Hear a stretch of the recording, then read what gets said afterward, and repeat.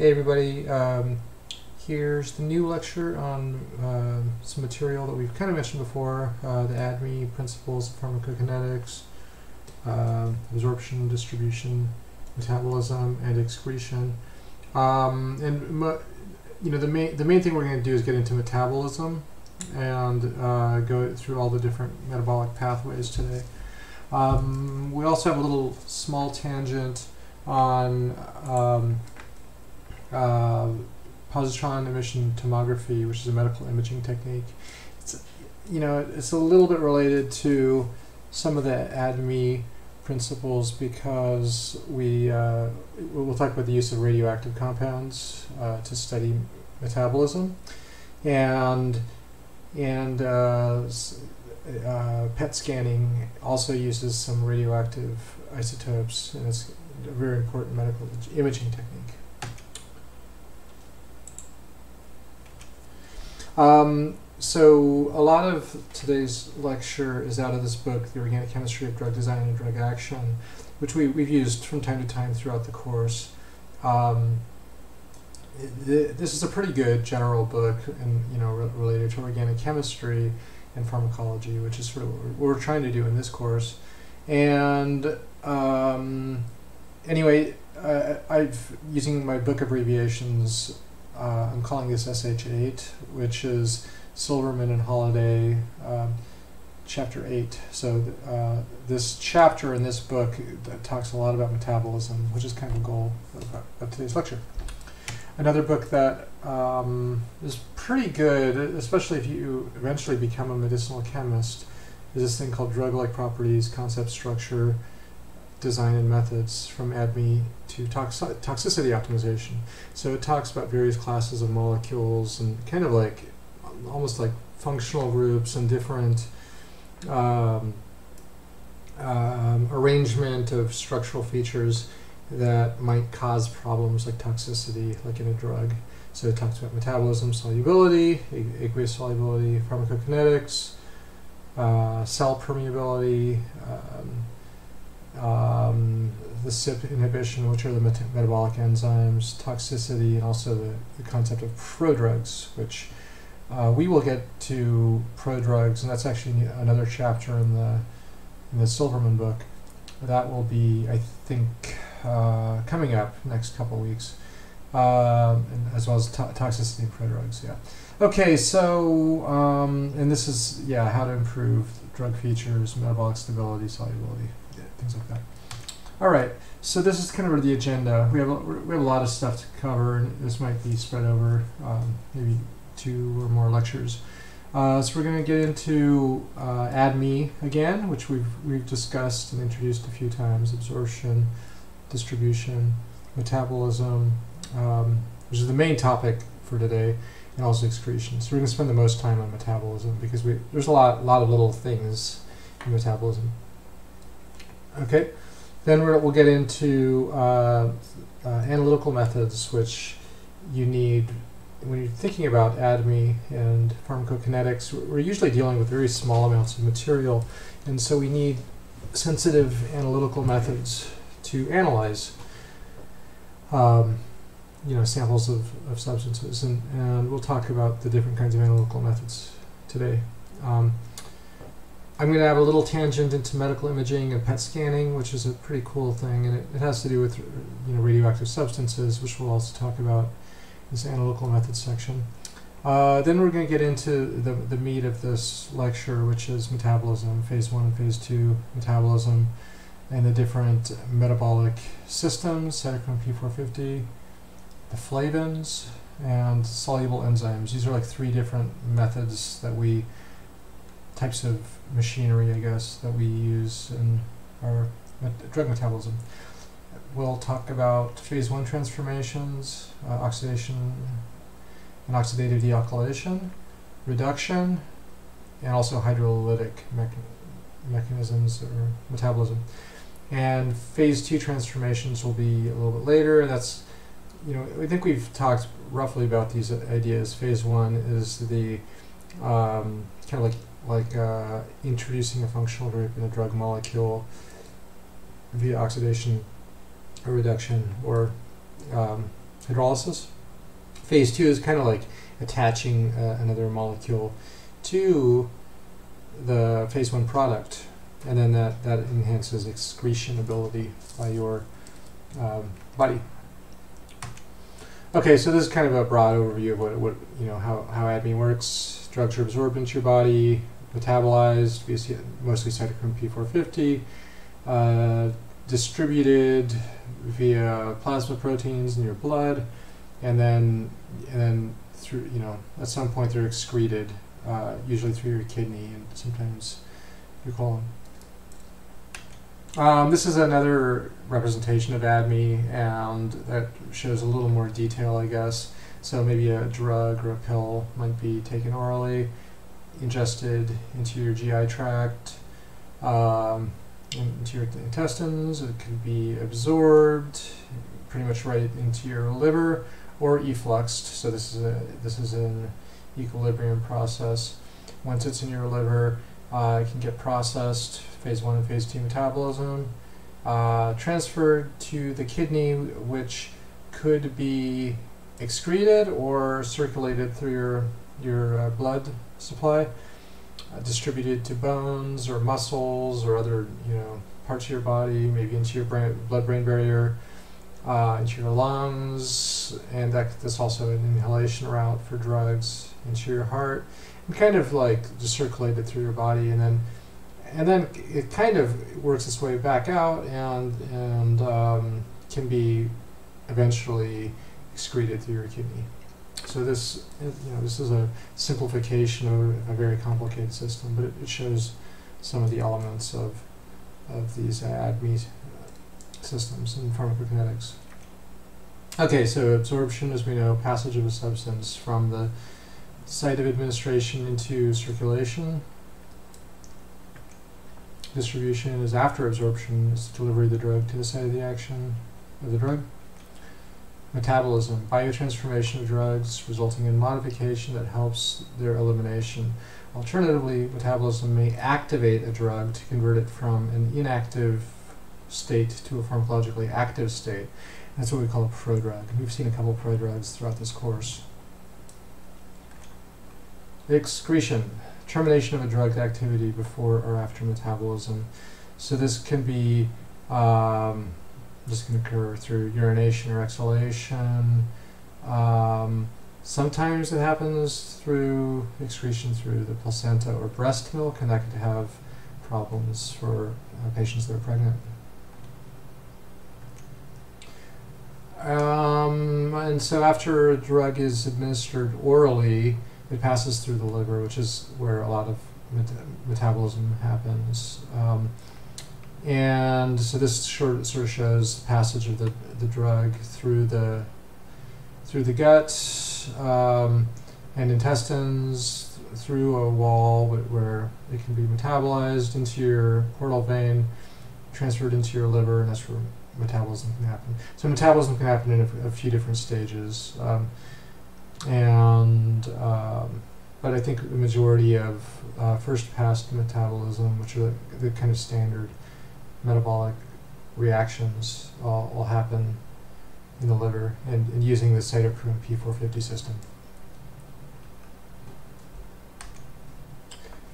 Uh, other routes of administration that might avoid the first pass effect, we talked about some of these before, intravenous, intramuscular, subcutaneous, which is under your skin, sublingual, which is under your tongue, transdermal, which is across your skin, um, and uh, inhalation. A lot of it, um, a lot of like an anesthetics work by inhalation.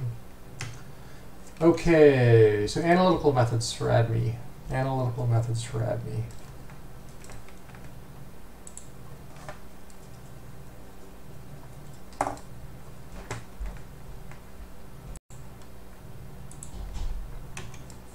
how do we how can we detect substances in the body high sensitivity so this is um, this kind of comes to your analytical chemistry knowledge you know what are the what are the text that, techniques that we use to determine and quantify substances um, I, I don't know if you've all had analytical chemistry or uh, quantitative analysis, uh, which would talk about these things. But, but you probably have an idea of some of the sort of standard methods we might use. And when we say when we say in the body, this is probably well, we could you know recover a blood sample or also like a urine sample or other um, bodily fluids that might contain the drug or the metabolite. But I would say very commonly it's going to be blood or urine. Um, but what are the analytical techniques? Uh, HPLC or LCMS are, are, certainly one method, not necessarily the best method, uh, but they are pretty readily available and um, but the sensitivity may be poor. We'll talk about those in a second. You can imagine a radioactively labeled molecule, and then we could use sort of HPLC, but like a, a version of HPLC that works well for radioactive labeled molecules. The nice thing about radioactivity and radioactively labeled molecules is that um, the detection is much more sensitive. So, you know, if you and, and, and coming back to what you know the problem that might arise with HPLC is is if you're separating out a small metabolic sample from everything that's in urine or blood, it might be hard to see the the um, quantify how much of your molecule of interest there is. Radioactively labeled molecules would, would really separate and, and be analyzed distinctly from those other molecules. Um, around here, we're also going to get into positron emission tomography, PET scanning, which is which also uses radioactively labeled molecules. So it's kind of the, how these things are connected. So we'll, we'll talk about that also. Okay, so a pretty easy method for analyzing substances, and this you know this is something we use all the time in the chemistry laboratory, is HPLC. And we typically, you know, most people use UV vis detection, which is great because there's no radioactivity. It just has to do with the properties of the of the, the molecules we're analyzing. Um, this is paracetamol, which of course is uh, acetaminophen or Tylenol, um, and this shows kind of like a typical output of an HPLC. And um, so this x-axis is the the time course, and the peak.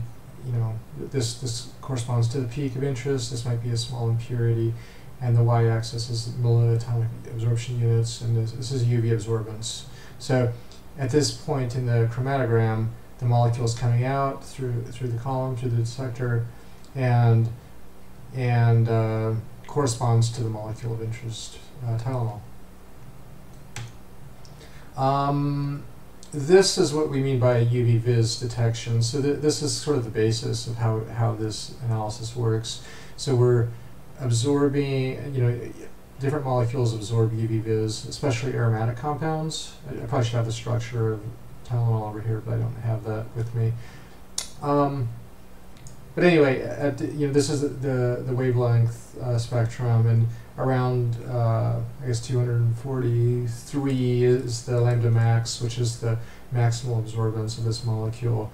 And what we do is we, we tune the detector to, to this wavelength, or, or more generally around 250, 254, which is kind of like a standard uh, lambda max.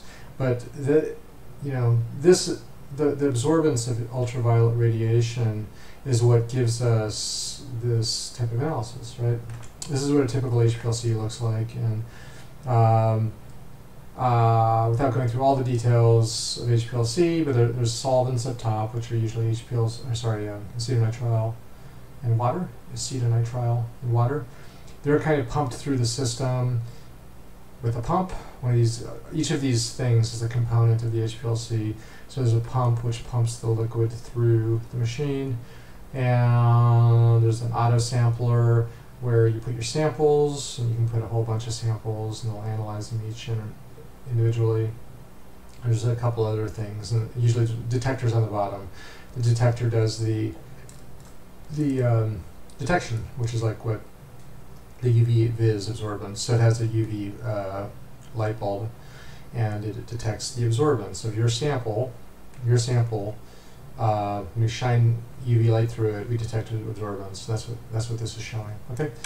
okay, so what are the disadvantages? It has poor signal to noise, lots of background materials in blood and urine or other biological fluids, and that o- overwhelmed the analysis. So this is beautiful, and the reason it's beautiful is because this is a pure sample, and this is you know just shows how HPLC would work. But when you start analyzing blood and urine, and, and you know at at uh, around 254 or so nanometers, um, you're gonna see a whole bunch of stuff. You're gonna see a thousand peaks, and and it's really hard to, to figure out which one is the drug that you're interested in. Like like in this case, Tylenol. Uh, usually, using HPLC alone, you can't really do what we're doing here, detecting low levels of a substance. Um, it just doesn't really. You can't really get a quantitative measurement very well. Um, sometimes we would couple an HPLC with a mass spectrometer, uh, which is another another box that'd be out kind of on the right over here. And the mass spec tells you or lets you analyze the molecular weight of each peak. So you get the molecular weight of this peak, and it would correspond to Tylenol. Um, and using that, you can kind of filter out all the, the junk from what you're trying to analyze. Sometimes that works, sometimes it, it doesn't work. Um, the goal is really to quantify how much of this you have in your sample. Okay, so we can also imagine using a radioactively labeled molecule. So the example we're going to use is C14, which is a radioisotope of carbon. So it's a it it is unstable. Uh, uh, it has a long half-life, so it, do, it doesn't like degrade very rapidly. Um, but it is radioactive. Uh, the cool thing about using a radioactively labeled molecule is it allows more sensitive detection and we use a, something called a scintillation counter, which pretty much counts the radioactive decay events of the, of the molecule. And we can also use that with HPLC. So you can use the same kind of HPLC. The difference is you'd use a radioactive detector, a radioactive flow detector, and this can be set up, you know, to, to analyze C14 decay. It's much more sensitive, and, and what you're really you're only analyzing radioactive substances. So, if you would give an animal or a maybe a human a radioactively labeled substance, that molecule is you're going to be able to analyze it in the presence of non-radioactive substances and be able to see it specifically. Uh, it, there are some toxicity and hazards related to radioactive molecules. Um, sometimes also you also have to you know anal- you have to synthesize you have to synthesize a radioactive substance, and sometimes that's challenging. It's not necessarily as easy as synthesizing a, a non-radioactive substance.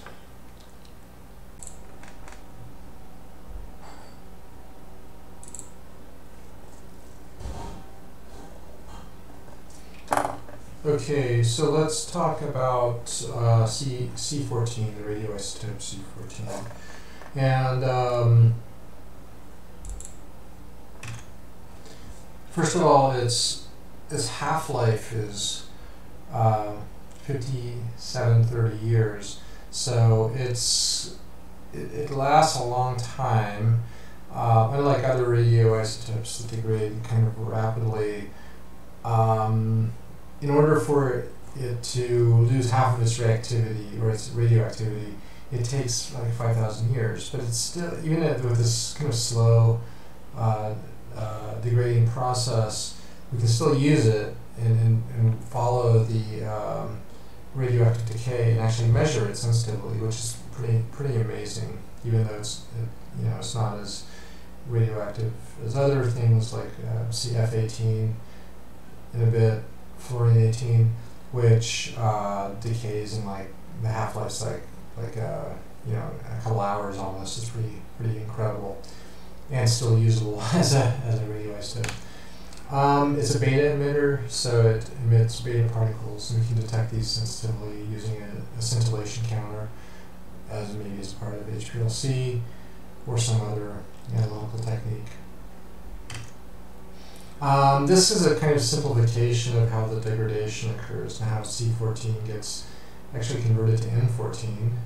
And so th- th- there's there's a couple things things going on. You have like, you know, how how could you go from uh, uh, carbon to nitrogen? I mean, you, you have to add a proton, but in this process, like a neutron is being converted into a, a proton, and the the actual uh, mechanism of radioactive decay is kind of a, a um, it's it's a, sort of theoretical physics and a little, little complicated. But the big thing is that a beta particle is emitted, and that's something we can detect using a scintillation counter. Um, how does C14 compare to C12? C12 is sort of the dominant isotope of carbon. It has uh, six uh, protons and six uh, neutrons. And this is the sort of carbon that we generally observe. There's also C13, which is a, has an extra neutron. It's non-radioactive. It doesn't decay. Um, but it's also used in analytical chemistry because we can we can sort of analyze the amount of C13 present using mass spectrometry. So um, C13 is really important also, and we'll, we'll mention C13 again in a bit. And how do we, if we're going to use a radioactive substance in our uh, like drug, how do we incorporate it into a molecule? So we can, how do we do that? So it can be, it's possible if we have a source of C14, um, and if, if the molecule is synthesized using natural enzymes, then you just let the, let the natural enzymes do their work. So an example is making penicillin derivatives. Penicillin derivatives, you know, you're familiar with this sort of structure, and if you basically can pr- provide radioactively labeled building blocks, and a lot of these can be obtained. Um, then you just let the, the enzyme do its work. And the enzyme, which would normally take these building blocks and assemble penicillin derivatives, will also do it if the, if the building blocks are radioactive. It doesn't now. It, it doesn't care. The enzymes still work. So the, the enzyme enzymes don't really care about the, like the number of neutrons that are present. Um, if we have a completely synthetic molecule, we need to use radio-labeled uh, building blocks, so pieces of the molecule that have have uh, a radioactive isotope embedded into them. And so an example is this molecule Zyvox, which is an antibiotic. And so this this shows kind of like the synthetic scheme of how we sort of start with these pieces. Um, and this is actually, this first reaction is an easy reaction. It's that SNAR reaction that we've mentioned a couple times. It was, it's an organic two book also. The nitrogen sort of attacks the carbon, kicks electrons all the way through to the nitro. Then the nitro swings back and kicks off the fluorine. So that, that just attaches the nitrogen to the carbon. A rare case where fluorine is a good leaving group. Um, the SNAR reaction, so nucleophilic uh, aromatic substitution. Um, and then you get this. We uh, reduce the nitro group with H2 and palladium from NO2 to NH2. And then in this, in the example of this molecule, here's where we could attach the radioactively labeled uh, building block. Uh, this is a, a um, uh, chloroformate, benzyl chloroformate derivative. So it's just it's, a, it's an electrophile. Nitrogen attacks the carbon. Electrons go up, down, kick off the chlorine. So it essentially attaches nitrogen to the carbon. And now we have this carbamate, and this is actually a, um, a protecting group too. We, we um, may have seen this before, but it's called Cbz. Cbz is this uh, protecting group. And and um, anyway, so in, in this instance, that this they push forward a bit to get to this point, and and now you can see where the uh, radioactively labeled carbon is. That's a C fourteen right there, and then they would, might use like radioactively labeled acetic anhydride, and the nitrogen kicks and attacks, kicks uh, off one of the sides, and now we now we've attached a radioactively labeled um, acetate group to our nitrogen. So it's an acid, uh, sediment. So now we have two carbons that are radioactively labeled. And and this just shows the kind of the example of like how you might convert maybe a a um, commercial synthesis or a, a normal linear synthesis of a, a, molecule to to something that incorporates radioactively labeled sites. This all depends on you having uh, access to the building blocks, and some some building blocks are available radioactively labeled, and and sometimes the shipping of them is kind of complicated. Sometimes you can you actually make it like at a uh, at a uh, local uh, radiochemistry facility. So like UCSF as the Department of Radiology, and they actually regularly prepare certain building blocks with different radio labels on them. One use of C14 is is a test called the urea C14 test, and it's a uh, tests uh, H. pylori, which is a bacteria that infects people in the stomach. It's a stomach infection, and you're essentially using urea, right? What's urea? It's uh, NH2, C double bond O, NH2, right? And we're using the C14 labeled version of that, and this, and then we're going to essentially uh, uh, detect radioactively labeled CO2, carbon dioxide. Here's a kind of uh, scheme that sort of shows that. So here's C14 urea, C14 urea, which uh, you would take orally. And what happens, what happens is, is, is this is actually a, a pretty stable molecule, right? And if we're trying to detect the presence of this bacterial infection, the thing is that the, the bacteria has an enzyme called a urease, and the urease will hydrolyze the urea into essentially carbonic acid, right? HO, O, OH, carbonic acid. And then that will be absorbed into your body as the radioactively labeled carbonic acid or, or bicarbonate. And that kind of pretty much way, works its way through your body into your lungs. And then you breathe out C, uh, CO2, C14 CO2, right? Labeled carbon dioxide. And what do we do then? We breathe it into a balloon, transfer it into uh, a vial, and, and, you know, a couple steps of this, and essentially then they measure the the radioactivity with a scintillation counter. So they measure the beta particles in the sample, and if they see it, if they see uh, this uh, C14 labeled CO2, then they know you have the infection. So it's a pretty clever method to, to detect if you have this stomach infection. Uh, more recently, people are doing the same thing with urea C13, which the nice thing is it's not radioactive. C14 is not tremendously toxic because the de decay is kind of slow, but still, you know, if you can avoid ingesting radioactive substances, that is preferable, and especially since urea C13 is completely non-toxic, um, and it generates a non-radioactive C13 CO2. So same thing, but it's CO2 labeled with C13. Um, and uh, remember, C13 is not radioactive, so it's not detected by a scintillation counter, but rather using mass spectrometry techniques that can actually detect things like C13. Okay, so let's get into this tangent of medical imaging and PET scanning now. And this has to do also with radioactively labeled uh, substances.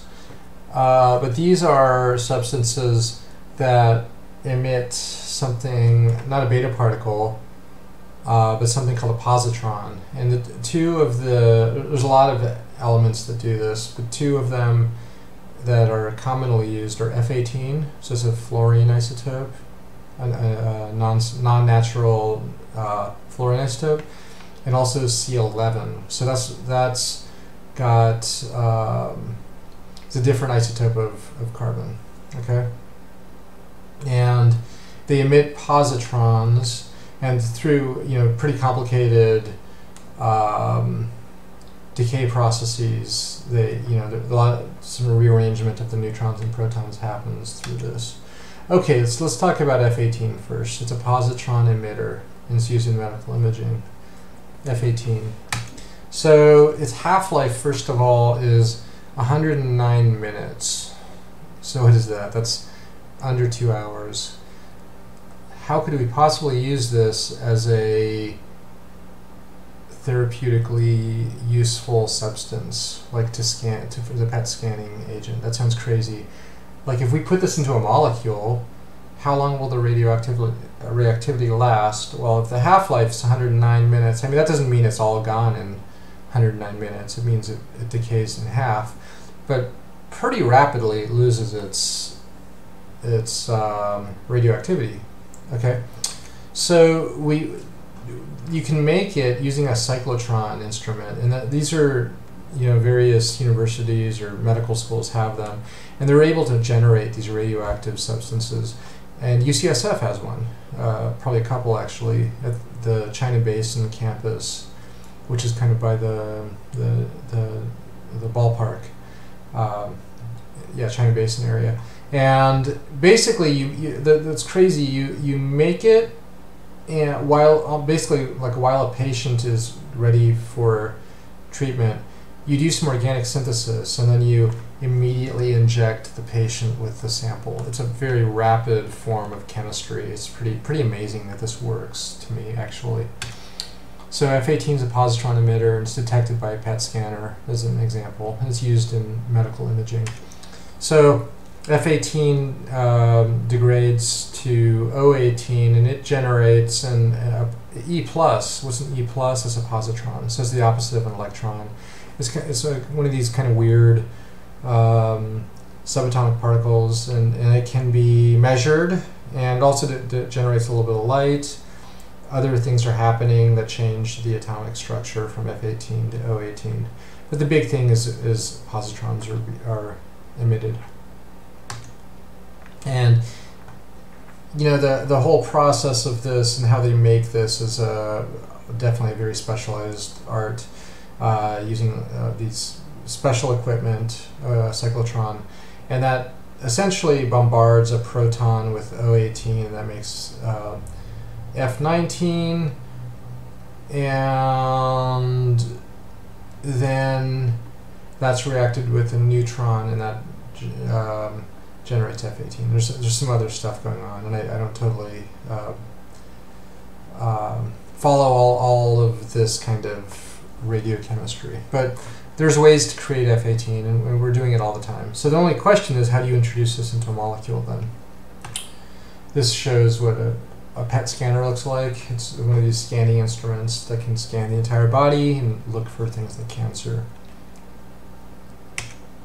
Okay, so let's talk about the use of this radioisotope F18. Um, it's a positron emitter, imaging for prostate cancer. Prostate cancer, and we're going to specifically you like um, target.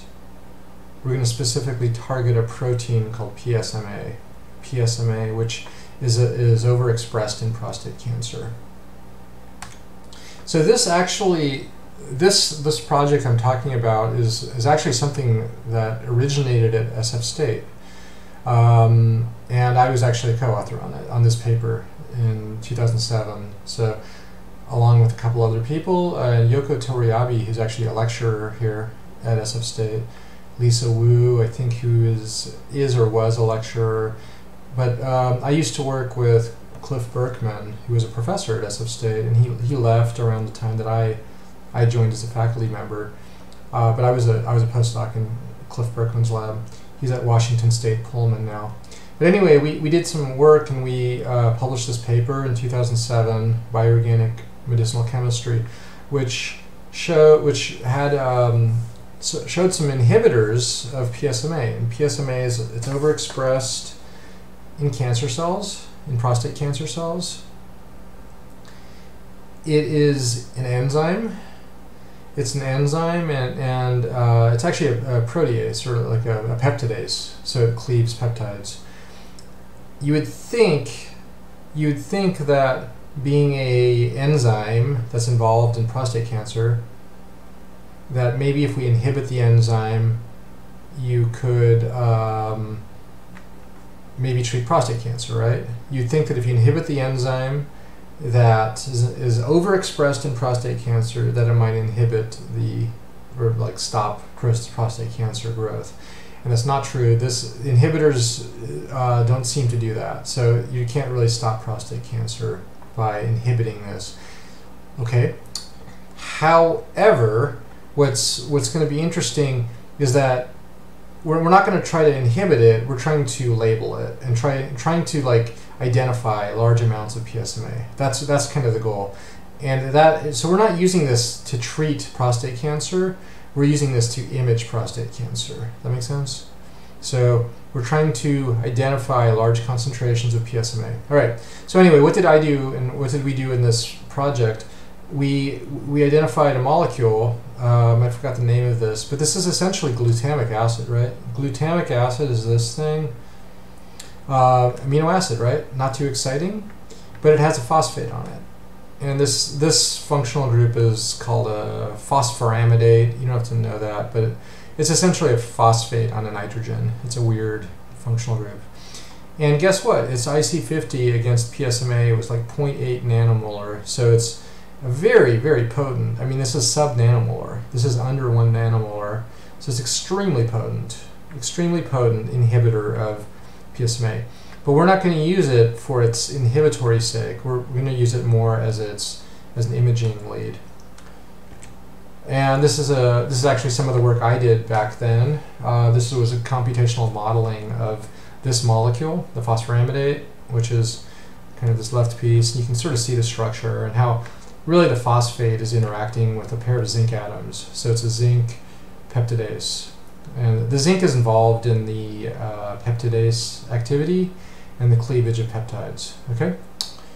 Um, nothing else too exciting here. Okay, so um, I, I was not involved in this project beyond this part, this thing. But later, uh, the Berkman lab, when he moved to uh, Washington State University in Pullman, Washington, they did a, a lot of continuing work on the, this sort of uh, structure, and they discovered this molecule. And uh, um, yeah, this molecule. This is called CTT, CTT 1057, and it also has a very good IC50 against PSMA, 0.4 nanomolar, so it's very potent, very very you know subnanomolar. Um, published in Journal of Medicinal Chemistry, 2016. Uh, this is in collaboration with Henry Van Brocklin, who's a professor at UCSF in the radiology department that I was talking about at China Basin. So he he's a this guy's a pretty amazing uh, radiochemist. So he, he he works with radioactively labeled molecules and um, anyway, so you can see something kind of funny over here. Oh, look at that! That's an F18. So they they incorporated F18, which is the positron emitting fluorine, right? And what's the half life again? it's like under two hours. So they, they make this they make this molecule pretty much while the patient is waiting to be injected with it. So it's a very rapid turnaround, right?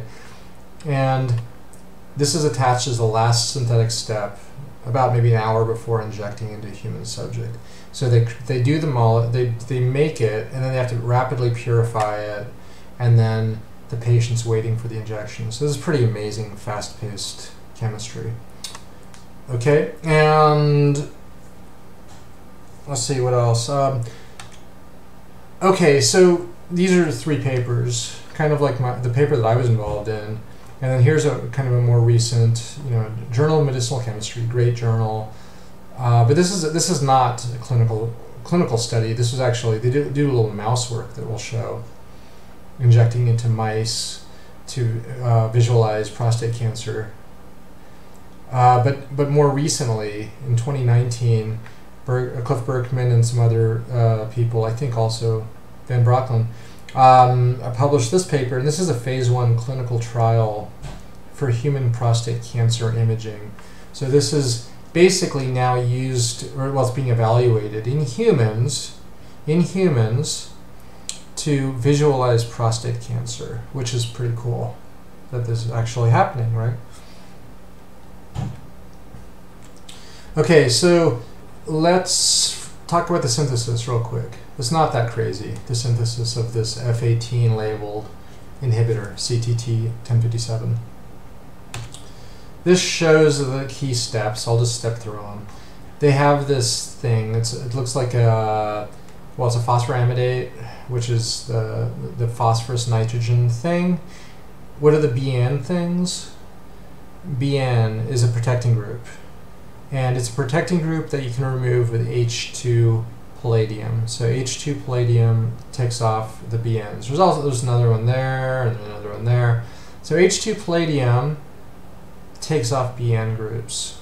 Uh, looks like there's five of them. One, two, three, four, five. H2 palladium takes off BN groups. Boc, though, Boc is protecting the nitrogen, and Boc is not removed by H2 palladium. As you know from recently, I think one of your homework assignments, Boc is removed by something else. Boc. And Boc is actually removed by acid. And, and acid, TFA is a strong acid, trifluoroacetic acid. It's just acetic acid with three fluorines on it. Okay? So the first step is, is TFA. What's that going to do? Not going to touch the BNs, but it's going to deprotect the Boc. Okay? Deprotect the Boc. And, and then they're going to react with HBTU, which you learned about also recently, maybe homework, and a linker piece, triethylamine. So essentially, TFA gives you a free amine, so it's NH2. And then, and then the linker piece is actually uh, this part over here, which is the uh, it's a car. It'll be a carboxylic acid with this long chain, right? It's just a carboxylic acid. So that'd be a carboxylic acid, carboxylic acid, and this chain and we're ending with a CBZ group at the end. Okay? So that's what we do first. We deprotect the Boc group, and we attach using HBTU. It's a amide coupling agent. Amide coupling agent. We attach a carboxylic acid to make this amide, to make the amide. All right, that's what the first part is. Okay, now, what are they going to do? Now they're taking H2 palladium, which, what did we say that does? It removes the BNs. It also removes the CBZ. So they, they both are these benzyl type groups. And essentially, yeah, we're removing all the benzyls and all the CBZs. So benzyls go away, and the CBZ goes away, leaves you with an amine. So now, the last step is attachment of the, the radioactive piece, which is this F18 labeled uh, benzoyl succinimide thing. This is made in the synchrotron. Half life is 109 minutes, so it's used fast. You make it, you use it. Succinimide is a leaving group, right? So what happens is again, again, is they take off the CBZ and now they have NH2, right? Deprotect the CBZ, now they have NH2. NH2 attacks this thing and kicks off the leaving group. And now you have your molecule and you inject this into the patient. So it's very rapid, very rapid process to make this radioactively labeled uh, F18 positron emitting substance. Okay? This is all in the J JMedChem paper, so the not the not the clinical trial. This is kind of like a proof of principle paper. Proof of principle.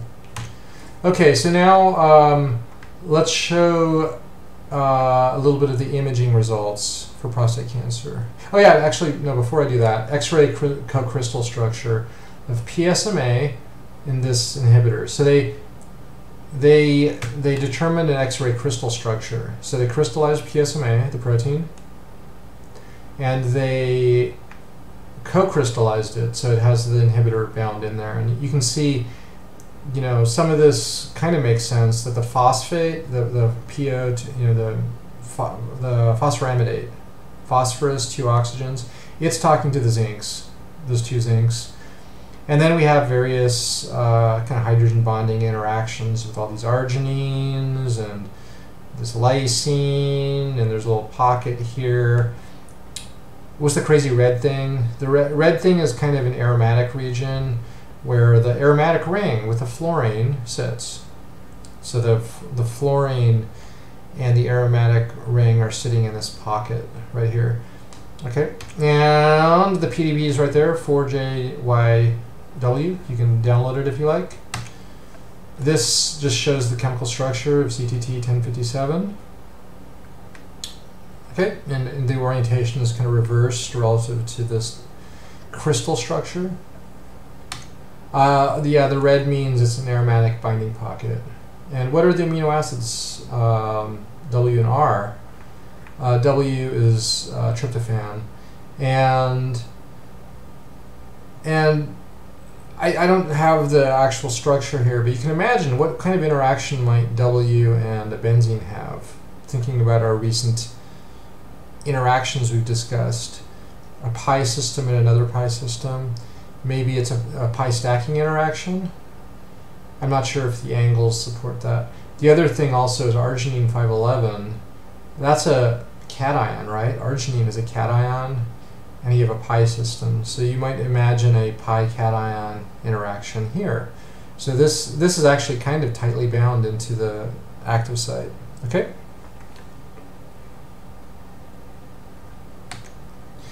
Okay, all part of the JMedChem paper. Okay, so this is also before the clinical study. This is a preclinical study into a mouse. So this isn't the same JMedChem paper, the middle paper that I was talking about. Okay, so what this is going to show, I'm, I'm showing kind of three parts. There's, a, there's uh, I'm calling left as the other compound, so this is another compound they're studying. Middle will be the this new compound, CTT 1057. Right will be another compound. So what we're going to do is see some mice with, uh, we're going to see some mice, and I'll step through it all. Okay, so here's the mice. Okay, so we have kind of left, middle, and right, and each of these mice was injected with cancer cells, with prostate cancer cells. So there's two types of cells they're using. One is CWR22RV1. This is a uh, cancer cell line that overexpresses PSMA. So that it overexpresses the protein that the drug targets, right?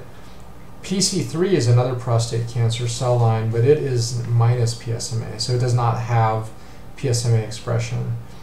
Okay, so all of these three situations are showing kind of the, the same sort of uh, thing. The middle, and, and what's happening is this. So, the, so when they they inject the mice with the cancer cells, they inject the mice with the cancer cells, and and what we're doing is detecting the ability of these compounds to image to image the tumor cells. And what we what we see in each because there's there's three different compounds. There's uh, I'm, not, I'm I'm skipping what A and C are. Let's just focus on B. B shows it really nicely. This is our our cool compound. Let's focus on B. Okay, so what B is showing is that it can identify where the tumor is. So this is where the injection, the tumor was injected. And these positive PSMA cells were injected. And what this compound is doing is it's not like treating the cancer, it's just imaging it. So it's binding tightly to those to that, that those PSMA positive cells. Right? And of course on the right here is negative PSMA cells. And those cells are injected, and this compound is not visualizing them. So it's very uh, nice that our, our compound here, our compound is um, selectively and specifically imaging PSMA positive prostate cancer cells in a mouse. So they're injected into the mouse, and we can specifically see these CWR22RV1 cells. and that's pretty cool.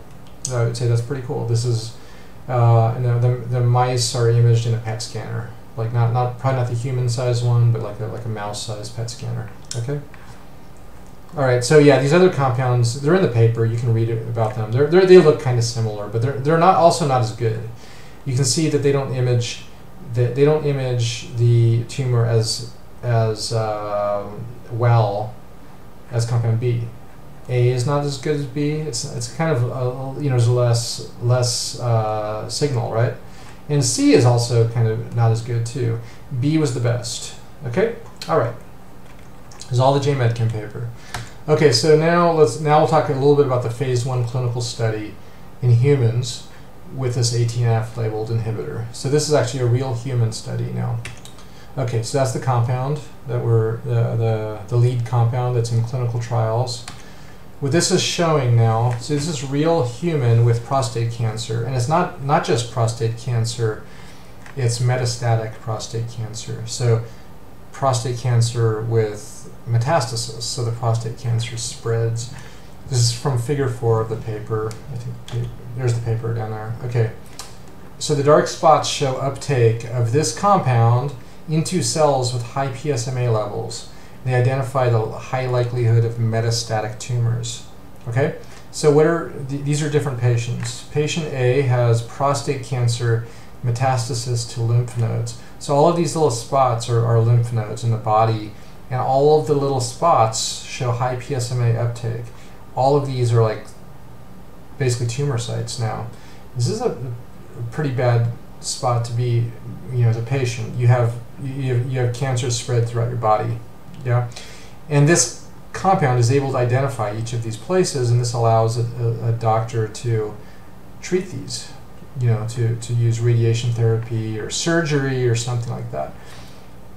Patient B is prostate cancer metastasis, but, but not to lymph nodes. There's definitely spots in various places, and these are other, the, the cancer is spread to different places. And you, you probably say that patient B is probably doing a little better than patient A, but but they're they're both um, they have a, you know pretty severe uh, metastatic cancer, and this is a this is a you know very useful imaging tool because you can do these PET studies with with um, uh, with it. So you inject this into the body, and you know, you wait a while and then you're able to do the PET scan. So, th- but the compound's got to be made like right before you use it, right? Because the fluorine 18 is not uh, lasting very long.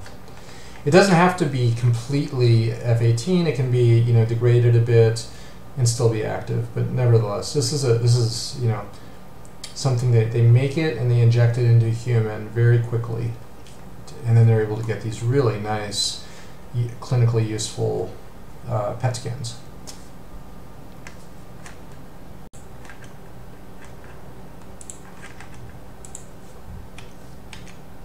Okay, one more example of this um, interesting uh, positron emission tomography imaging uh, method.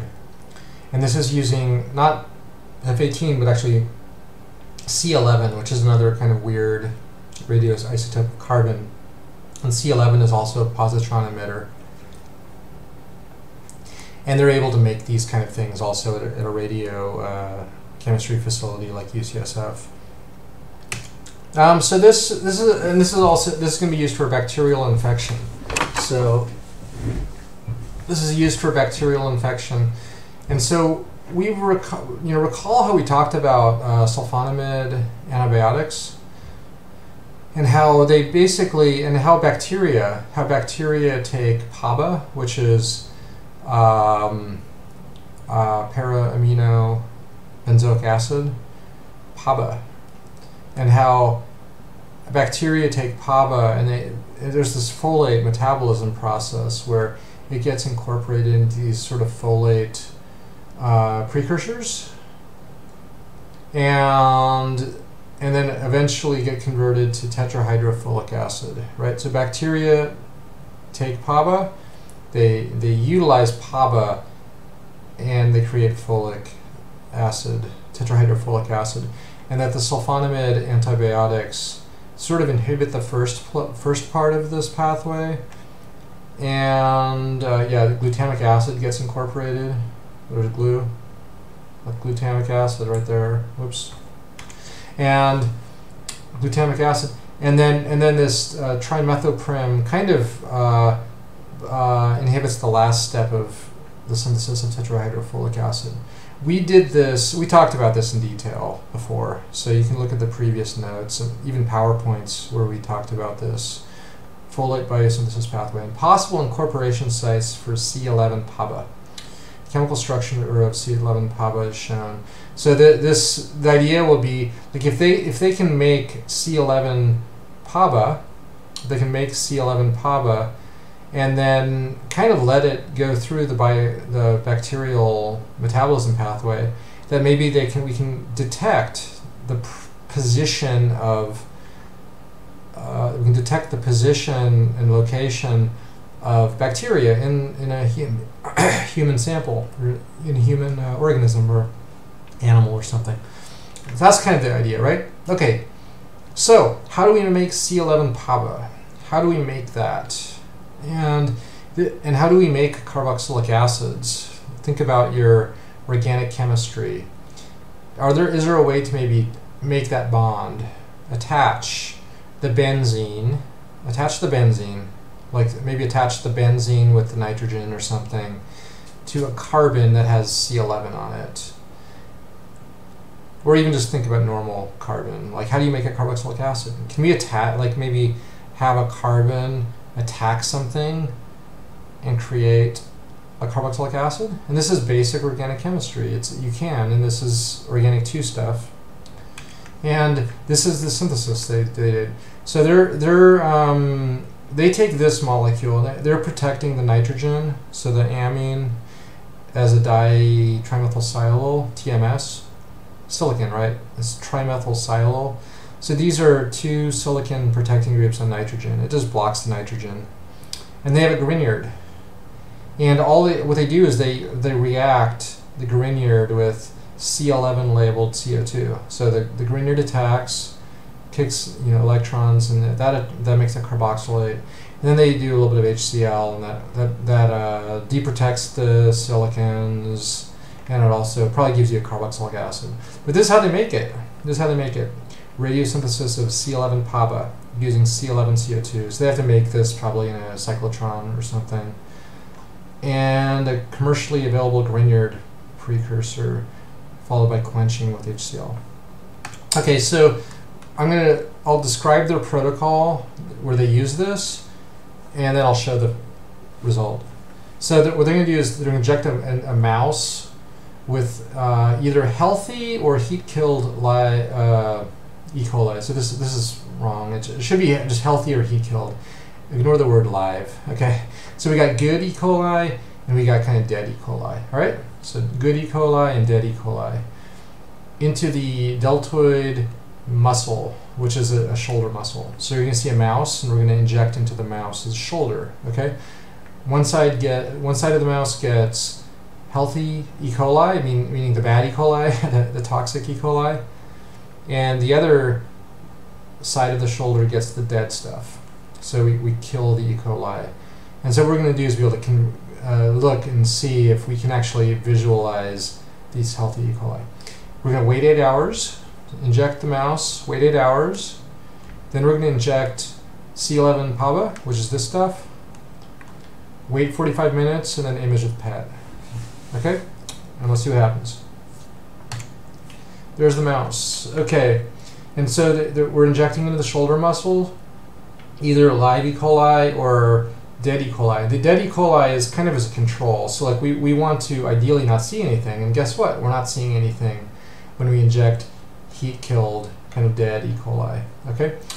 On the live E. coli, the PET scan shows the, the bacteria.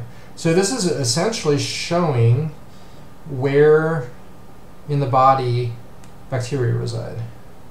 And I'm not totally sure what's going on with the, the red images. It's probably in the paper. I, sh- I should read that. I think I'm not. I'm not too sure what's going on here. Um, but for now I'm going to focus on, on where the bacteria is injected, and, and that that this. Um, that I think this might these might be the kidneys actually. That's that's actually probably right. I think the there's a buildup of this substance in the kidneys waiting to be excreted. Yeah, that's I think that's that's right. Mm, is that the colon? I'm not sure. I don't know mouse physiology too well. But anyway, yeah, I think the, the, at least this is the kidneys. I think the, uh, the the mouse is trying to excrete this funny substance. But before it can do that, we can actually do an imaging study and see the, um, where the bacteria reside. That's kind of cool. Okay. And this was published in ACS Infectious Disease 2018, and you can get the paper if you like and want to read more about it.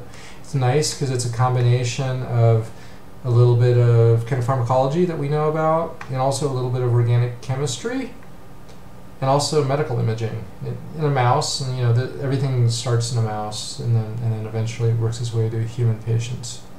I don't know if this has been applied to study bacteria in humans yet. Okay, I think we're at the stopping point for day one, and I'll continue with the phase one, phase two metabolism stuff next time. Have a good weekend.